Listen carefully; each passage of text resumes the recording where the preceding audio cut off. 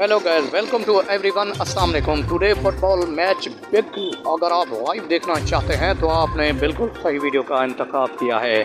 हम आपको ये मुकाबला लाइव दिखाएँगे बट आपको उससे पहले दोस्त फॉलो करने हैं। सबसे पहले वीडियो को लाइक करना है।